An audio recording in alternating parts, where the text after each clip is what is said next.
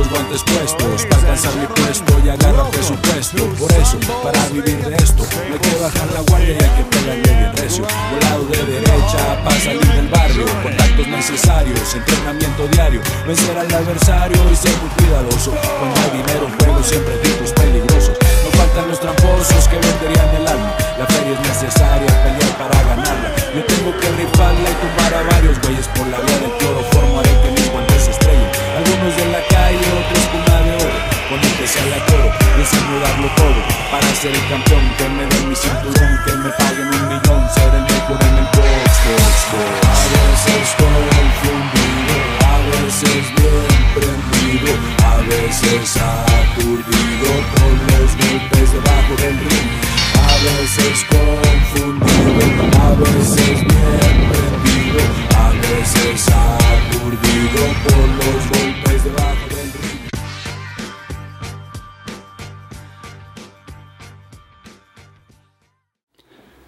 Hola amigos y amigas, bienvenidos a una nueva edición de Tarima Brava. Las pasadas semanas estuvimos haciendo muchísimos kilómetros para seguir a nuestros competidores tanto dentro como fuera de Galicia, así que hoy vamos a traer un programa repleto de novedades. Hagamos sumario.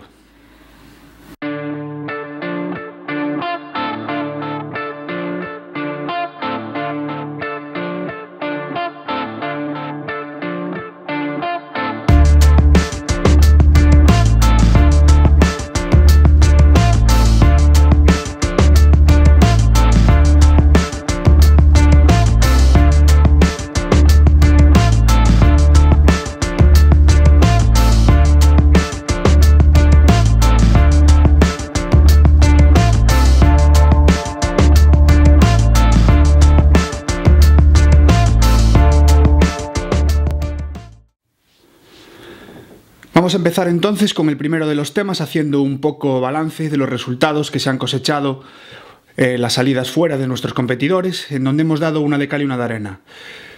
Ha habido victorias, alguna que otra derrota, pero siempre, siempre, siempre los nuestros dando la cara y demostrando nivel. Comenzamos el repaso de la actualidad fuera de casa con la sorprendente victoria de Albertito Toro del Yago Barros Fight Club de A Coruña ante Luis Martínez del Interkick. Se trataba del combate estelar del cartel de Fonzanelli, en la velada disputada en Oviedo el pasado día 11 de febrero. Alberto da la sorpresa ante el mismo rival y en el mismo escenario donde unos meses antes había impuesto también su entrenador, Yago Barros. Con este resultado, Alberto se postula como uno de los competidores de kick más en forma del circuito gallego.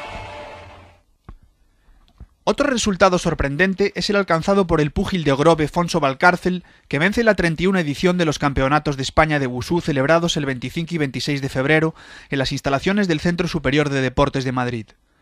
Fonso ganó esta competición en 19 participaciones consecutivas, desde que lo hizo la primera vez en el año 96.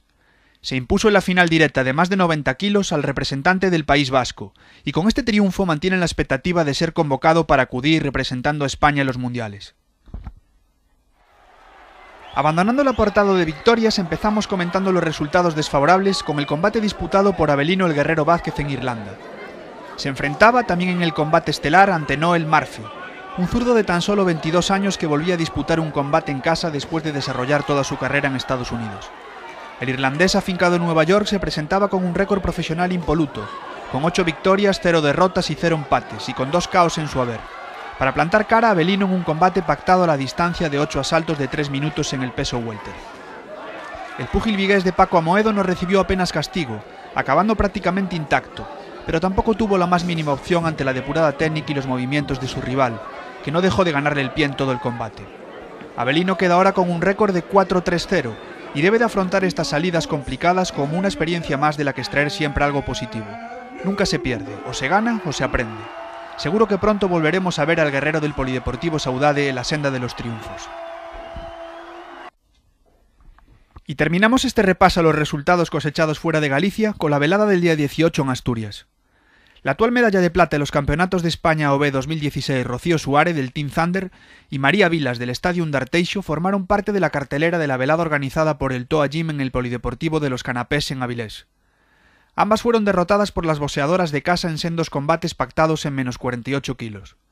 María Vilas del Stadium hizo un buen combate de debut en velado oficial.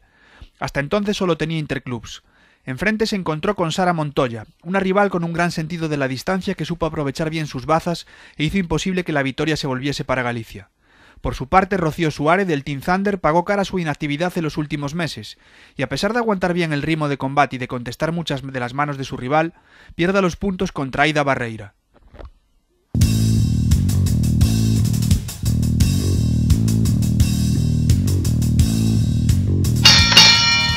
Eh, buenas noches, somos la Escuela de Boxeo Canario y queremos presentar nuestra quinta pelea de boxeo Ciudad de Será el 25 de marzo en el pabellón de la Filitera a las 10 de la noche, la cual va a coger 8 combates amateur y competirán 6 competidores de nuestro club, entre ellos Ángel López Mayá, que competirá contra Elvis en combate revancha.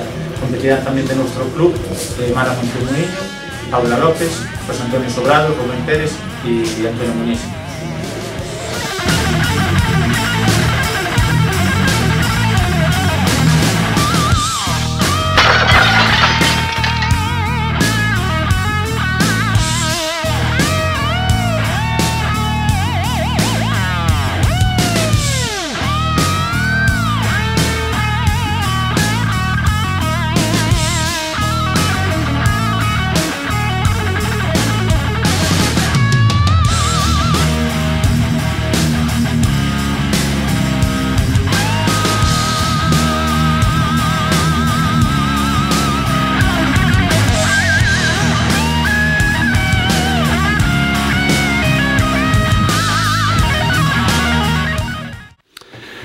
Claro que sí, siempre es difícil competir fuera, fuera de Galicia.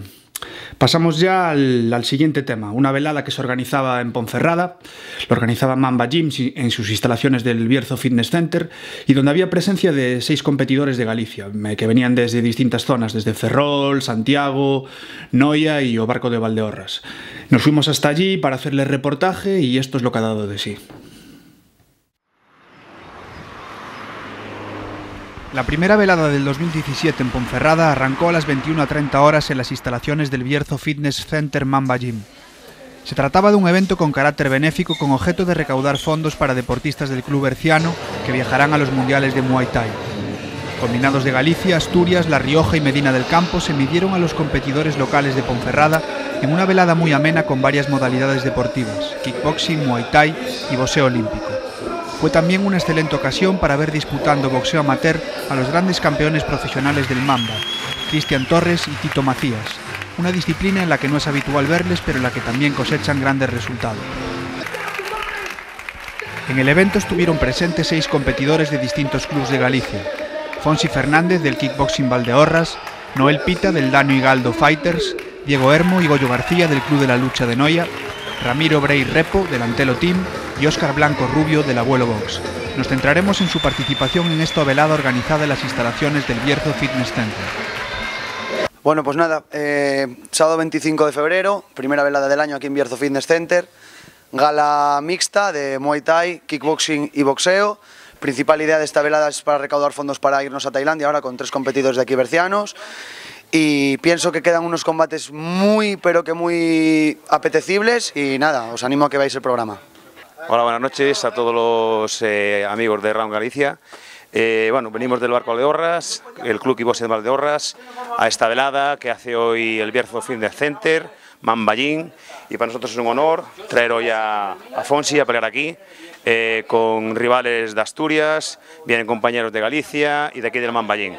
Eh, creo que va a ser una gran noche, aparte es una gala para recaudar fondos para el viaje de, dos chicos que la verdad que lo hacen de maravilla, se van a campeonato todo el mundo Tailandia. Y bueno, pues aquí estamos con Fonsi que debuta. Y nada, pues experiencia, buscar que una pelea bonita y, bueno, y agradar a todos los aficionados que vienen aquí. En el primer enfrentamiento de la noche, el debutante del club kickboxing Valdeorras, Fonsi Fernández, hizo un destacado papel ante un más experimentado púgil del Interkick de Oviedo, Álvaro, en un vistoso y trabajado combate por ambas partes. Hubo intercambios muy aplaudidos por el público que llenaba las instalaciones del Bierzo Fitness Center, y a medida que los nervios iniciales propios de un debut se iban disipando, pudimos ver destellos de dos buenos luchadores que salen con determinación en busca de la victoria. Habrá que seguir la evolución de esta joven promesa fincada en Obarco, que aunque no se anotó la primera gloria en su palmarés, dejó un buen sabor de boca a los espectadores hasta que tuvo que abandonar el combate en el segundo round por indicación de su esquina. Hola, me llamo Diego Hermo, eh, soy del club, de lucha Noia, peleo en kickboxing en menos de 61 kilos contra un chico de Ferrol y nada, es, eh, hice dos peleas aquí en el torneo que hubo eh, y esta es mi primera pelea de kickboxing en velada y nada, espero ganar y hacer un buen papel. Soy Dani Galdo, venimos de Ferrol, venimos a pelear aquí a Ponferrada con el hijo de Moisés Hermo, una de las promesas más grandes de tanto del boxeo como del kickboxing de, Galicia. Traigo a Noel a pelear y venimos del club de, Ferrol, DG Fighters Team, a intentar hacer una buena pelea, lo más técnica posible, que ruede y hasta la próxima. El segundo combate fue de los más aplaudidos de toda la velada y tuvo acento 100% gallego, enfrentando a dos excelentes kickboxers de nuestra comunidad autónoma. Procedente de Ferrol del club DG Fighters de Gani Galdo, Noel Pita se medía a Diego Hermo del club de la lucha Noya. Ambos dejaron claras muestras de por qué son de los competidores en activo más en forma dentro del escaso kick que se practica en Galicia, deleitando al público berciano con un alto ritmo, gestos técnicos y una enorme combatividad, desde el primer hasta el último round. Después de una larga deliberación, los jueces decretaron combate nulo, premiando por igual la labor de ambos luchadores encima del ensogado. Hola, soy Goyo García del Club de Lucha Noya y nada, hemos venido aquí a Ponferrada. Yo voy a disputar un combate de boxeo contra Samuel Fernández, aunque su punto fuerte es el K1 o el full conta. Eh, va a disputar conmigo este combate, el mío es el octavo ya y nada, a ver qué pasa y parece que va a prometer y esperemos dar un buen espectáculo y que el público quede contento. Y con el séptimo combate de la noche llegamos al primero de nuestros representantes gallegos en boxeo, con Goyo García del Club de la Lucha Noya para enfrentarse al local Samuel Fernández del Mamba Gym. A nuestro juicio, la especialidad en la que cada púgil desarrolla su carrera deportiva se hizo notar. Samuel estuvo bien, sacando manos y desplazándose con corrección, pero quizás acostumbrado a las distintas variantes del kickboxing, fue menos dominador de la distancia y del ritmo propios del boxeo, especialidad única de Goyo. Sin hacer gala de su mejor versión, el púgil de Noia, con series precisas y sin grandes alardes, se impone con solvencia en un combate bastante ameno para el espectador, que disfrutó con ambos boxeadores sobre la tarima. Victoria a los puntos para Goyo García. Sí, hoy me toca pelear con Cristian Torres, ya peleé con él en una ocasión, también en boxeo. Es un rival duro, que como todos sabemos todos, campeón de España de K1 profesional, Peleó ahí atrás el europeo, también de K1 profesional, un rival duro. Pero bueno, esperemos hacer buen papel y darnos unos buenos golpes ahí. Con el octavo enfrentamiento llegábamos a los platos fuertes de la velada, con la puesta en escena de los luchadores destacados del Mamba Gym. En este combate, Ramiro Brey del Antelo Team se medía en boxeo al campeón de España e ibérico de K1 Waco Pro, Cristian Torres. El púgil de Astrada, haciendo gala de una escuela muy trabajada defensivamente, y a tenor del enorme peligro de enfrentarse un profesional en 81 kilos donde un error es letal, hizo un combate planteado a la contra desde el inicio. La estrategia cosechó sus frutos en un primer asalto con Ramiro Bray mucho más preciso que su rival, conectando las contadas manos que sacó para no descuidar sus flancos.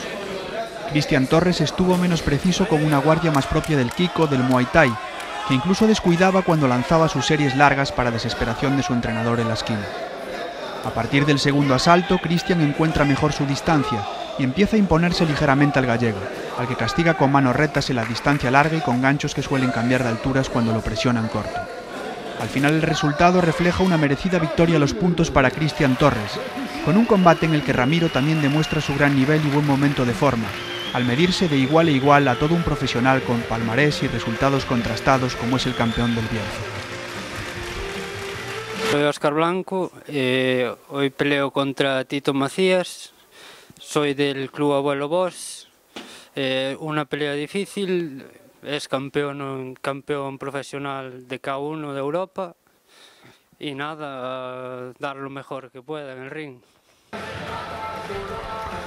Para poner el broche dorado al evento, el Mamba Gym reservaba la carta del campeón de Europa de K1 Waco Pro, Tito Macías.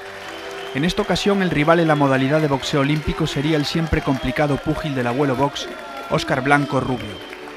El púgil de Cacheiras es uno de esos ejemplos de boxeador ortodoxo puro, hecho a base de trabajo en el gimnasio que ejecuta a la perfección los gestos que intenta y no se pierden experimentos. Tito salió a agradar a su público y a gustarse a sí mismo, haciendo exhibición de una velocidad de pies inusual para un practicante de boxeo, pero muy propia de un campeón profesional de kickboxing donde las piernas son esenciales. Intentó desconcertar la estrategia de Oscar con cambios de guardia, pasos laterales a la hora de recortar el ring, pero Oscar es como un témpano de hielo, imperturbable.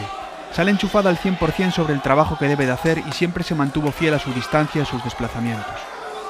Tito lo probó de todas las formas posibles. Tomó y selló la iniciativa. Siempre se encontró enfrente un boxeador muy bien cerrado en defensa y con buenas salidas laterales. El resultado final es también una meritoria victoria a los puntos para Tito Macías, más proactivo y con mayor dominio del ring, pero también debería de ser otra prueba más de que en el tándem abuelo-antelo están trabajando en la línea correcta con sus boxeadores.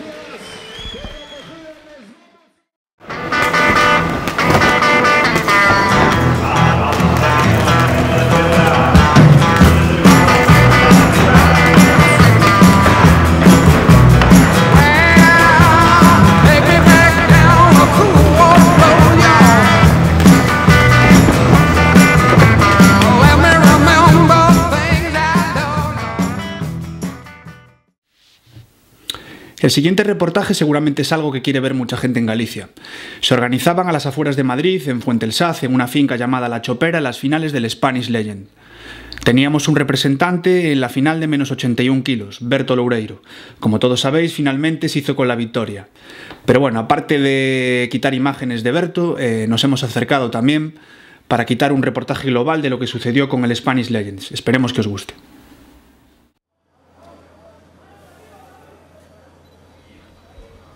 El Spanish Legends arrancó con una serie de combates amateur entre púgiles de la Comunidad de Madrid, al que siguió una cena barbacoa como preludio de las finales del torneo y de los combates profesionales.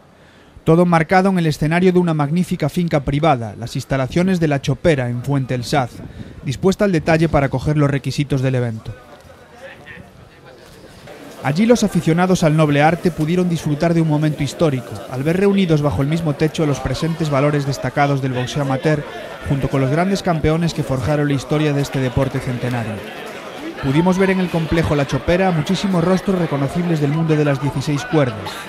Por citar algunos y sin menoscabo de los que se nos queden en el tintero, Pepe Legrá, Miguel Velázquez, José Durán, María Jesús Rosa, José Antonio López Bueno, Kiko Martínez, Javier Castillejo, Gabriel Campillo, Alfredo Evangelista, Nino Jiménez, Rubén Nieto, Miguel de Pablos, Paco Izaguirre, Alfonso Redondo, Joaquín Flaco Céspedes, Pablo Navascúes, Manolo del Río, Manolo Pombo, Rafa Lozano, etcétera, etcétera, juntándose lo más granado del boxeo español profesional gracias a la iniciativa de Rock and Box. En lo estrictamente deportivo, los aficionados pudieron disfrutar de cuatro combates amateur fuera de torneo, las nueve finales del Spanish Legends y dos emocionantes disputas de boxeo profesional. Vamos a centrarnos en el Spanish Legend. Abrieron las hostilidades las chicas con la final femenina de menos 54 kilos entre Neritz Borinaga del MGZ y Jessica Brunet del Bilbao Boxing. Combate igualado entre las dos púgiles del País Vasco en un enfrentamiento por momentos trabado y en el que Neritz entra más enchufada en el primer round. La tendencia se revierte en el segundo y Jessica termina ligeramente más fuerte de fondo en el tercero, lo que quizás decanta la victoria para ella a los ojos de los jueces. Victoria a los puntos para Jessica Brunet. En el segundo combate entran los chicos en acción. En el peso mosca menos 52 kilos se enfrentan Gabriel Escobar, del equipo nacional, y Sebastián Portunato, de Euskobox. El boxeador de Euskadi se postula como un rival con recursos, bien plantado, rocoso, que sabe sufrir, pero de la selección es un auténtico vendaval. Despliega encima de la tarima una técnica exquisita, ejecutada milimétricamente y a una velocidad asombrosa. Especialmente vistosas las entradas y salidas acompañadas de pasos laterales. En el último asalto, Escobar provoca una cuenta de protección sobre su oponente. De no tener un rival tan fuerte como Fortunato, probablemente el combate hubiese acabado antes del límite. Victoria a los puntos para Gabriel Escobar. Otro combate de tónica similar, en el que se ve la diferencia de ritmo que imprimen los miembros del combinado nacional de Rafa Lozano, fue la final del peso gallo menos 56 kilos entre José Quiles del equipo nacional y Brian Albajara de Saltando Charcos. Por más que lo intentó el voluntarioso boxeador del equipo del Gamonal en Burgos, la destreza de Quiles, uno de los boxeadores más en forma del amateur español actual, convirtió la disputa en una misión imposible. A mayores de su depurada técnica da la sensación de que al de Elda también le pesa la mano. Intentó ceder la iniciativa por momentos al rival para buscar una contra fulminante, pero para entonces ya había puesto en sobreaviso su oponente, que no entró al trapo. Una nueva e incontestable victoria a los puntos para José Quiles que le hace indiscutible acreedor del cinturón. Para el peso ligero, menos 60 kilos, se disputó uno de los combates más jaleados por el público de toda la noche. Se enfrentaron Eduardo Cobos del Tristán Boxing Club y Ricardo Fernández del Rolando. Fue un combate muy entretenido cuyo guion se escribió en términos del enfrentamiento típico entre estilista y fajador. Ricardo persiguió incansablemente a Eduardo durante los tres rounds en busca de conectar sus potentes manos, y Eduardo le boxeó muy inteligentemente a la contra, y puntuando con manos curvas en salidas laterales. La mayor renta de puntos obtenido en los primeros asaltos por el boxeador del Tristán hizo que incluso su rival cometiese algún que otro fallo a la hora de entrar, buscando precipitarse para darle la vuelta a la tortilla con un golpe definitivo en el tercero. Finalmente los jueces decretan victoria a los puntos para Eduardo Cobos, y se desata la euforia en una parte destacada del público presente, que acompañaba a este club y que recibe el veredicto con grandes muestras de júbilo. En la frontera de los 64 kilos, peso welter ligero, se pudo disfrutar del buen hacer de otro de los integrantes del equipo nacional que competía en las finales del Spanish Legends. Johan Orozco del equipo nacional se medía a Brian Forero del Okinawa. El de Castrurdiales puso voluntad, pero ante el de la selección no pudo desplegar sus buenos recursos de zurdo. Johan también dejó muestras de que tiene una poderosa pegada y tras varias cuentas de protección para dar respiro, el árbitro detiene con buen criterio el combate, salvaguardando la integridad del competidor cántabro, en la primera victoria por KO técnico de la noche para Johan Orozco. Tanto él como José Quiles han sido seleccionados para representar a la franquicia de los Morocco Atlas Lions en las World Boxing Series. Así llegamos al peso welter 69 kilos con Leonel Rodrigo del Tristán Boxing Club y con John Míguez del Okinawa. Probablemente el combate más reñido y equilibrado de todas las finales del torneo fue el que puso en acción estos dos titanes. John más técnico y ortodoxo, Leonel puro nervio y un bregador incansable. Viendo el durísimo ritmo y la gran potencia y alta cadencia de golpes con la que atacaba el boxeador de Madrid, parecía imposible que esta estrategia pudiese prolongarse más allá del ecuador del combate, pero Leonel estuvo incisivo de principio a fin y aunque John le contestó de igual a igual en la mayor parte de las fases de la pelea, quizás esta mayor proactividad e iniciativa a la hora de emprender las hostilidades fue la que decantó la victoria para el boxeador del Tristán Boxing Club. Nuevamente gran júbilo entre los aficionados de este club cuando se decreta la victoria a los puntos para Leonel Rodrigo. En el peso medio menos 75 kilos volvemos a la igualdad como tónica general se enfrentaban Adrián Torres de Coraje Muñoz y Jonathan Martínez de Emporio Barceló, en un combate de constantes ataques y respuestas de igual a igual. Jonathan más constante, con una cadencia más lineal, y Adrián bien cerrado, esperando la ocasión para sacar sus series más secas y explosivas. Con ambos boxeadores centrados en sus defensas, la inmensa mayoría de los golpes acabaron en las guardias. La mayor proactividad la puso Jonathan, ganando el centro del ring, pero quizás estuvo más preciso y contundente Adrián a la hora de conectar, especialmente al cuerpo. Otro punto a favor del de Coraje Muñoz fue la mayor sensación de frescura a partir del ecuador del tercer asalto, con su rival muy desgastado después de haber llevado la iniciativa todo el combate. Finalmente los jueces decretan victoria a los puntos por decisión dividida para Adrián Torres.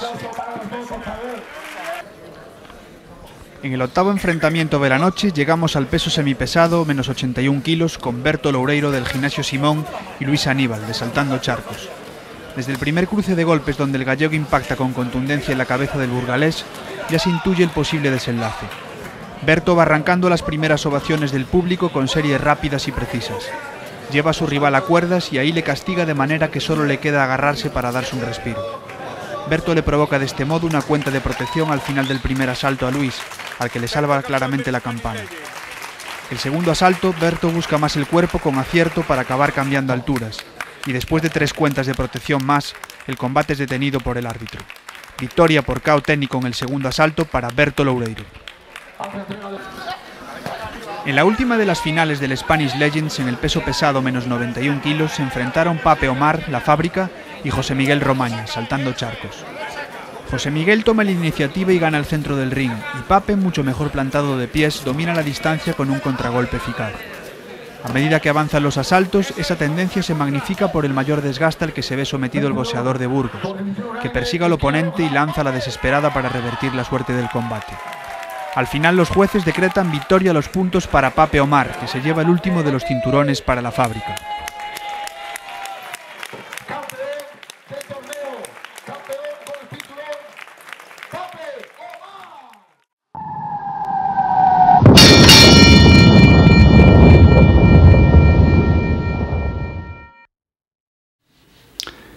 Arrancábamos el programa con un reportaje en donde hablábamos de los resultados cosechados afuera por nuestros competidores.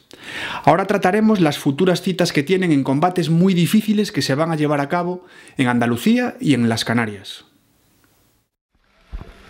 Al principio del programa empezamos haciendo repaso de los resultados cosechados durante el último mes en las salidas afuera de Galicia de los nuestros. Y ahora vamos a poner en resumen los principales compromisos que ya hay anunciados de cara al futuro, compitiendo más allá de nuestras fronteras. La cosa está que arde por el sur, con combates cerrados entre las Islas Canarias y Andalucía. Abrimos este capítulo con la expedición de la IFMA Galicia para participar en los campeonatos de España IFMA de Muay Thai, que se celebrarán del 17 al 19 de marzo en la ciudad andaluza de Ronda. Acompañando al cuerpo técnico compuesto por Emon Andía, Rubén Fontán y Óscar Castro, nueve serán los competidores gallegos escogidos para disputar las eliminatorias. En la categoría competitiva viajarán Aitor Soliño del NAC Muay Thai Galicia, y Charlie López del Spartan Team de Tomiño. Ya la categoría C, con menos de 5 combates, contamos con José Andrade y Javier Fraguas por el Club Combat RB, Uxía Rodríguez por el Spartan Team y Víctor Avenia, Gabriel Martínez, Pilar Martínez y Alejandro Viveiro por el NAC Muay Thai Galicia. Les deseamos a todos mucha suerte en Andalucía y ojalá que regresen cargados de medallas para nuestra comunidad autónoma. También el día 18 en el pabellón Pancho Camurria de Tenerife se disputa una gran velada de kickboxing donde se pone en juego el título de Europa Isca entre el luchador local José Bello y el francés Sibi Bari, que cuenta con un récord de 20 victorias, 3 derrotas y un nulo. Formando parte del cartel de esta gala está el joven kickboxer gallego Diego Hermo, del Club de Lucha de Noia. Diego dio muestras de su buen estado de forma el pasado día 25 de febrero en Ponferrada, Volvía de una estancia de aprendizaje para perfeccionar Muay Thai en Tailandia y se ha quedado por tierras bercianas aprendiendo del campeón de Europa de K1 Diego Vázquez. Estamos 100% seguros de que dejará bien alto el pabellón en tierras canarias. A finales de ese mismo mes de marzo, más concretamente el día 25, el boxeador de Marín Aarón Zander González tiene un compromiso en la localidad andaluza de Carmona formará parte de una velada organizada por Boxeo Carmo en la que disputa el combate estelar de revancha ante Alex Vega. Boxeador local, Alcarón venció en la final welter del Open de Castilla y León 2016, disputada en Valladolid. Nadie negará que el de Marín rehuye las peleas importantes en casa del rival. Pronto anunciaremos en exclusivo otro compromiso importante del Thunder, esta vez fuera de España. Y volviendo a las Islas Afortunadas, dejamos para el final el importantísimo compromiso que Yago Barros tiene en Las Palmas el día 1 de abril. Se enfrentará al bicampeón de España del peso supergallo Cristian Montilla Pluto, en un combate pactado a cuatro asaltos de 3 minutos en menos 58 kilos. Y con esta ya serán cinco veces en las que el Pitbull se suba al ring, desde que debutó hace escasos meses en profesional con la promotora Tundra. En esta ocasión ya no estamos hablando de un prospecto como oponente, sino de todo un boxeador contrastado. Pluto viene de un parón de dos años sin competir, pero antes de este parón, obligado por una prescripción médica, estaba considerado como uno de los mejores boxeadores en activo del país. Una noche de boxeo para disfrutar en la gallera López Socas con 11 combates que no dejarán indiferente a nadie, en una velada con otras estrellas del boxeo profesional canario y contando además con la participación del olímpico y miembro destacado de la selección nacional Samuel Carmona.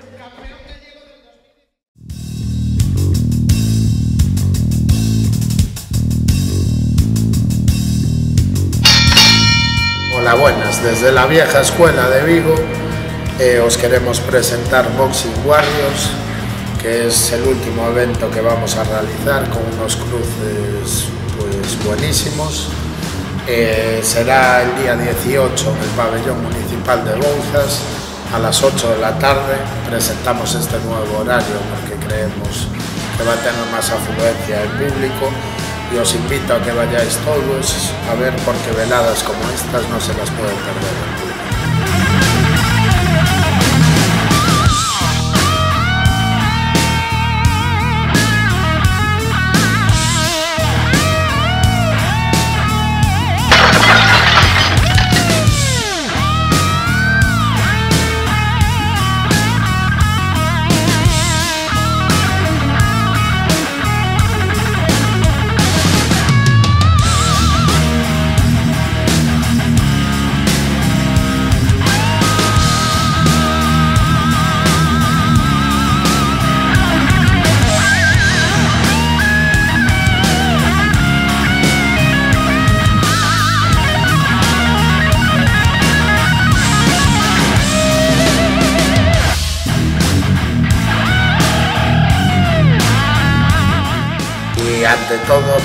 Finalizar, pues quiero dar las gracias a todos los patrocinadores que nos siguen, porque sin ellos estos eventos serían casi imposible hacerlos, y a todos los clubes de Vigo que hacen posible que se puedan realizar este tipo de peleas, que son las que quiere ver el público. El pasado fin de semana Sagabox arrancaba en el pabellón Álvaro Pino de Pontearea sus veladas 2017, con ocho interesantísimos combates amateur, de los cuales vamos a destacar fundamentalmente tres. El retorno del medallista Carlos Padín, el combatazo, auténtica, la auténtica guerra que se marcaron Aarón González y Borja Martínez Nogueira, y la vuelta al ring de Alex Ciclón Barros, que después de los campeonatos de España tuvo un parón largo pero que volvía con una nueva victoria. La primera velada organizada por Sacabox en el 2017 tuvo como escenario el pabellón municipal Álvaro Pino de Ponteareas. Los aficionados al boxeo pudieron disfrutar de ocho interesantes combates de boxeo amateur entre clubes procedentes del sur de Galicia en su mayoría. Escuela de Boxeo El Canario, Team Thunder, Kick Box Alceda, Rebouras Team, Spartan Team y Sagabox, con algún cruce contra clubes del norte, Azteca Box, y Portugal, Alba Fight. El evento resultó fluido en la organización y lució en su faceta deportiva, con combates bastante reñidos que pusieron por momentos al público en pie, aunque se vio empañado por las largas esperas por conocer los veredictos de los jueces, algo que viene sucediendo desde que se instauró el nuevo sistema de puntuación informatizado que sigue dando problemas. En el primer combate de la noche se enfrentaban Alberto Figueiras del Rebouras Team y Ovidio Sendín del Kick and Box Salcedo, en un combate pactado en menos 74 kilos peso medio. Ambos pusieron mucha voluntad encima del ring en un combate bastante igualado, propio de púgiles que empiezan. Fue una contienda de ida y vuelta constante con los dos poniendo toda la carne en el asador para llevarse la victoria, que finalmente los jueces decretaron para la esquina roja con el boxeador de Rebouras Team. Victoria a los puntos para Alberto Figueiras. El segundo combate enfrentó a Bryce Pérez, Rebouras Team y a Mario Peteiro, Team Thunder en menos 64 kilos welter ligero. El púgil de Reboura salió más enchufado que Mario en el primer asalto y se mantuvo muy sobrio y sereno a la hora de atajar las acometidas de su oponente, al que recibía con ganchos y con manos rectas bastante certeras. A partir del segundo, Mario equilibra la situación rompiendo líneas con desplazamientos laterales y pasando mejor los golpes que en el round anterior. En el tercero esta tendencia se consolida y el boxeador del Team Thunder conecta golpes claros con cintura más swing ante las manos rectas de Bryce, que ya no lleva una guardia tan cerrada como en los asaltos precedentes. Finalmente se decreta victoria a los puntos para Mario Peteiro. Volvemos al peso medio en un combate entre Ismael Pérez del Spartan Team y Marcos Gómez del Kick and Box Salcedo, pactado a menos 75 kilos. El alto ritmo que ambos impusieron desde la campaña inicial puso por primera vez en pie al pabellón Álvaro Pino que hasta ese momento estaba más frío, con combates de menos intercambio. Esta pelea transformó el asunto radicalmente. Ambos se fajaron en la corta distancia en un duelo en el que se intuía la gran pegada detrás de cada serie. Por momentos la iniciativa la llevaba a la esquina azul y por momentos la roja, en un combate nuevamente muy igualado. Los jueces decretan al final victoria a los puntos para Marcos Gómez. Y para combate emocionante, el cuarto de la velada disputado entre Carlos Padín, Tim Thunder y Álvaro Cires, Sagabox en la categoría de pesos pesados. Aunque salieron a tantearse en un primer asalto sin demasiado intercambio, ya sirvió para ver cosas.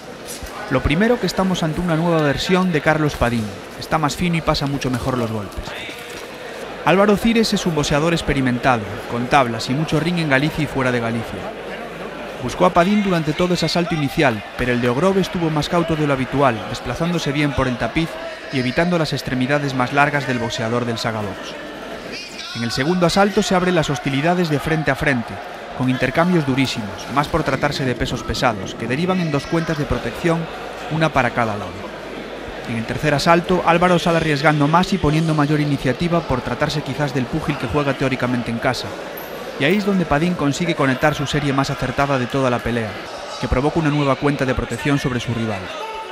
Álvaro intenta tirar de veteranía y coge aire, Fingiendo estar peor de lo que está para que su rival intente precipitarse por un KO, le espera para sacar todo lo que le queda en una serie explosiva.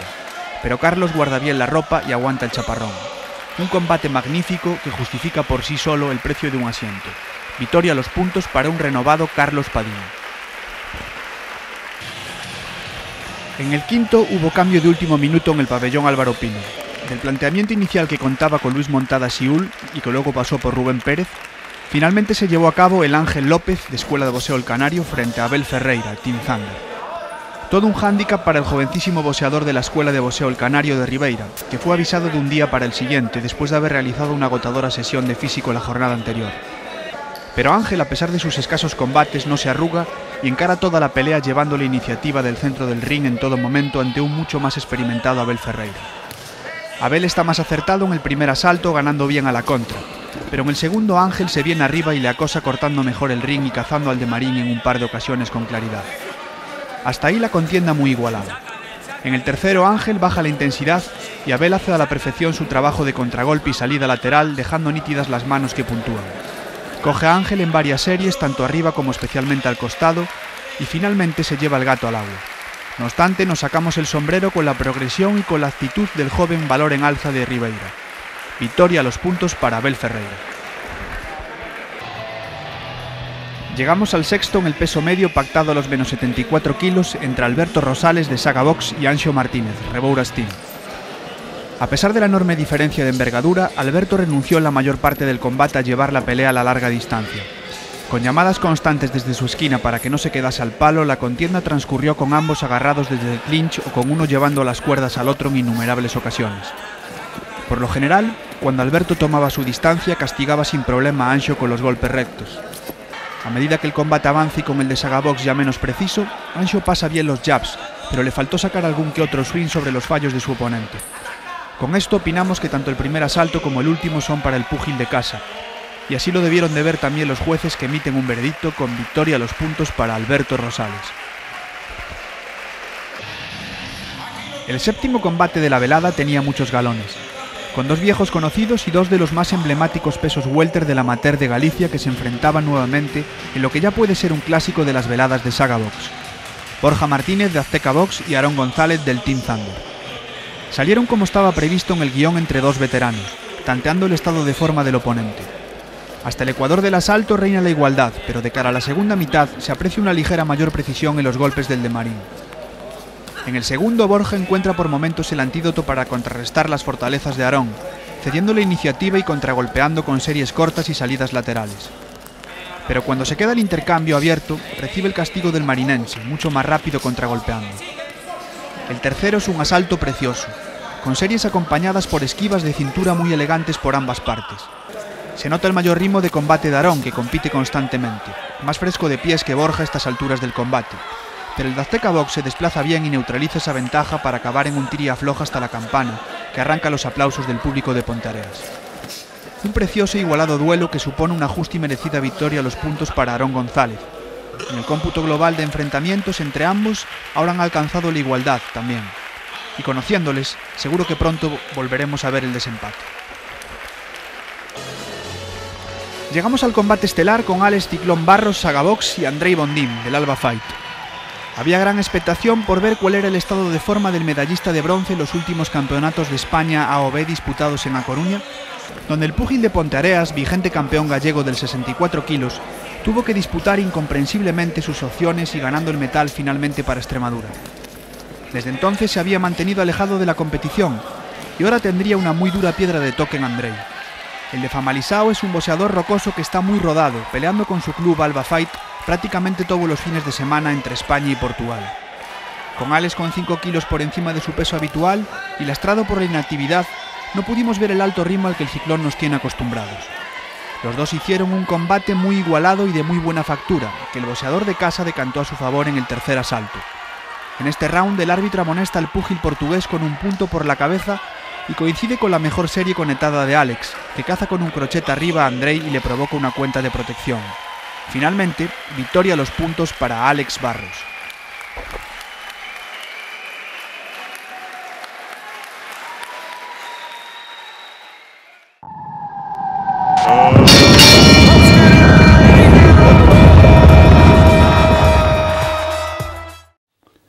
Bueno amigos, y esto es todo lo que ha dado de sí el programa de hoy. En el siguiente Tarima Brava trataremos diversos temas. Estaremos en Vigo siguiendo el segundo Dual Box que organiza Antonio Rebouras, unido a este, a este evento también hay un curso de vendaje impartido por Tinín Rodríguez. Eh, estaremos también en la velada del día 18 en Bouzas que organiza la vieja escuela, el Boxing Warriors, y el día 25 la velada de Ribeira. Raúl Galicia siempre está donde está la acción. Nosotros eh, preferimos contar las cosas de primera mano y no, no hablar de oídas. Así que os emplazamos para que dentro de 15 días estéis otra vez aquí siguiéndonos. ¿En dónde? En Tarima Brava. Hasta luego amigos.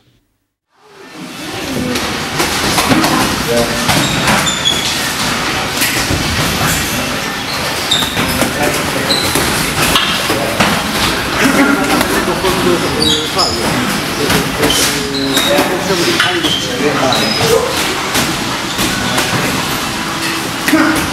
这